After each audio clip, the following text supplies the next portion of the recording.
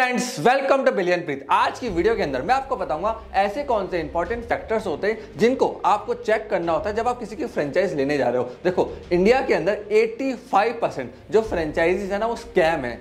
Fraud है, आपके साथ गैम्बलिंग करी जाती है। होता क्या है, कोई बिज़नेस चालू करता है, अब उसको एक्सपेंशन करना है तो वो क्या करेगा? एक फ्रेंचाइज मॉडल तैयार करेगा ट्रेडमार्क ले लेगा मार्केट में बेचना चालू कर देगा अपनी फ्रेंचाइजी उनका मकसद है ना फ्रेंचाइजी से पैसा कमाना नहीं होता है, कि हमारी फ्रेंचाइजी प्रॉफिटेबल होंगी स्केल करेंगी, तब हमारा पैसा बनेगा। उनका मकसद है कि वन टाइम रॉयल्टी फ़ी ली, पाँच लाख, दस लाख रुपये की, अब फ्रेंचाइजी को छोड़ दिया। चल गई तो बहुत अच्छी बात है। नहीं चल पाई तो कोई दिक्कत नहीं है। आपको इन्हीं चीज़ों का ध्यान रखना है। आज मैं आपको फैक्टर्स देने वाला हूँ, जिनसे आप चेक कर सकते हो। कहते हैं ना एक रिलेशनशिप के अंदर कुछ टिप्स होती हैं ट्रिक्स होती हैं हैक्स होती है, जिनसे प्यार सच्चा है या नहीं है मालूम पड़ता है। सेम विथ फ्रेंचाइजी बिज़नेस के अंदर। ये पॉइंट्स देने वाला हूँ, इसको नोट डाउन कर लेना। अगर आप फ्रेंचाइजी ले रहे हो, लेने वाले हो, लेने की सोच रहे हो तो इन पॉइंट्स को डेफिनेटली चेक करो। सबसे पहली चीज़ royalty fee and industrial investment अब देखिए, अगर कोई ब्रांड कह रही ना, हम वन टाइम रॉयल्टी फ़ी लेंगे फ्यूचर में एक रुपये हम आपसे नहीं लेंगे। समझ जाना फ्रॉड है। पूछो क्यों? पूछो क्यों? देखो, अगर कोई आपसे वन टाइम पैसा ले रहा है ना, और लाइफ टाइम वो आपसे एक रुपये नहीं कमा रहा है तो उसका मकसद सिर्फ़ उस वन टाइम पैसा लेने में फ्यूचर में कुछ भी नहीं है। इस चीज़ का ध्यान रखना। जब जब आपसे कोई मुनाफा कमाएगा, वो आपको ट्रेनिंग सपोर्ट गाइडेंस मोटिवेशन सब कुछ देगा, तब चेक करो। ऐसा तो नहीं कि वन टाइम रॉयल्टी फ़ी दस लाख रुपये की है और लाइफ टाइम ब्रांड सौ रुपये हज़ार रुपये मांग रही है। नहीं, वो फ्रॉड है स्कैम है। उसको सिर्फ़ वन टाइम में इंटरेस्ट है, उसके बाद तो ट्रेनिंग सपोर्ट नहीं देंगे। दूसरी चीज़ एग्रीमेंट एग्रीमेंट को ध्यान से पढ़ो।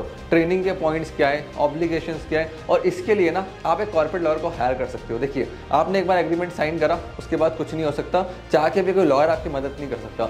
एग्रीमेंट साइन करने से पहले किसी अच्छे कॉर्पोरेट लॉयर को हायर करो, उसकी कंसल्टिंग लो। हमारा एक चैनल है सोनीस विजन लीगल करके। यहाँ पे हम एग्रीमेंट ड्राफ्टिंग के ऊपर फ्रेंचाइज एग्रीमेंट के ऊपर कैसे रिव्यू करना है, कैसे पढ़ना है, कैसे ड्राफ्ट करना है, सारी इन्फॉर्मेशन फ्री में हमने इस चैनल के ऊपर अपलोड कर रखी है। इस चैनल को आप जाकर चेकआउट कर सकते हो। लिंक आपको डिस्क्रिप्शन में मिल जाएगा। अब, तीसरी चीज़ जिसका आपको ध्यान रखना है ट्रैक द ब्रांड ब्रांड को ट्रैक करो भैया।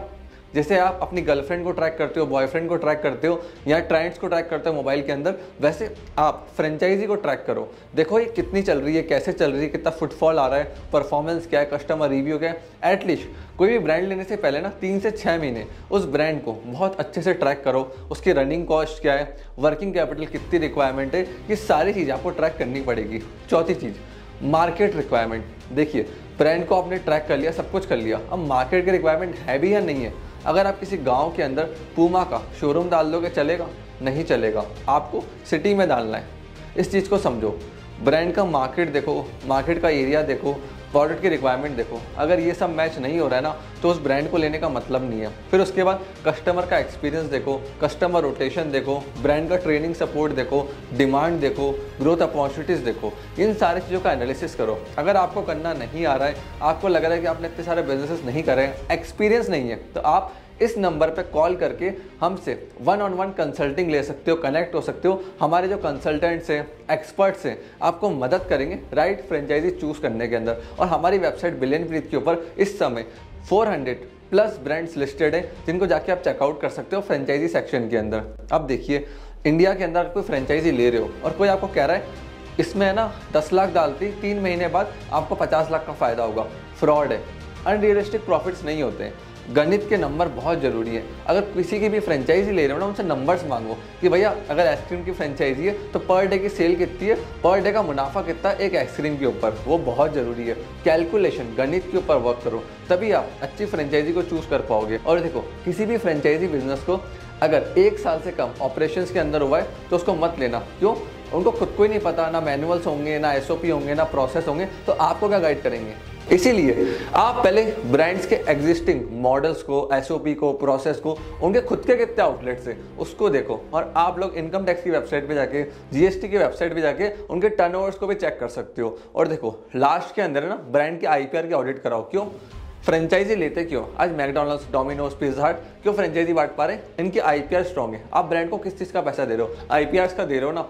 अगर आपको किसी भी ब्रांड का आईपीआर ऑडिट करवाना है तो आप हमें इस नंबर पर कॉल कर सकते हैं। हम आपको चेक करके बताएँगे कि इनके कितने ट्रेडमार्क्स रजिस्टर्ड है, कितने प्रोसेस रजिस्टर्ड है, क्या SOP process manuals IPR proper इन्होंने फॉलो करें या नहीं करें, ये बहुत ज़रूरी है, क्योंकि एक बार उन्होंने फ्रेंचाइजी ले ली, पैसा ट्रांसफ़र कर दिया लेटर ऑन नुकसान सिर्फ़ आपका होगा, इस चीज़ का ध्यान रखना, और किसी का नहीं होगा। अगर आपको मेरे से कनेक्ट होना है क्वेश्चन पूछने तो लिंक पे आप मेरे को मैसेज कर सकते हो, इस प्लेटफॉर्म पर मैं एक्टिव रहता हूँ, या फिर इंस्टाग्राम पर आप मुझे फॉलो कर सकते हैं एंड डीएम कर सकते हैं। इंस्टाग्राम के ऊपर भी मैं काफ़ी एक्टिव रहता हूँ, वहाँ भी मैं काफ़ी सारा कॉन्टेंट एंड इन्फॉर्मेशन पोस्ट करता हूँ। सो फ्रेंड्स आपने इस वीडियो को यहाँ तक देखा, हम लोगों तक है सपोर्ट दिया, उसके लिए धन्यवाद।